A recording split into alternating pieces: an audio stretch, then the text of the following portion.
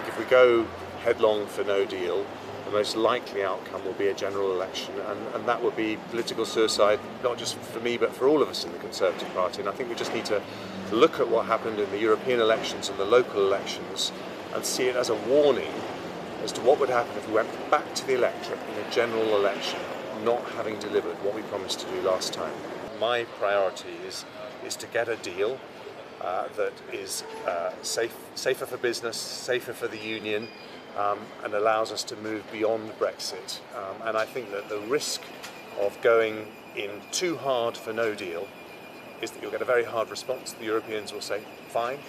Uh, and then I think, as I say, we would trigger a general election one way or another, and that would be extremely dangerous for the Conservative Party. The one choice I would not make is to have a general election. I think that would be political suicide for the Conservative Party, and it would mean that we had uh, the most left-wing leader in history in number 10 Downing Street by Christmas.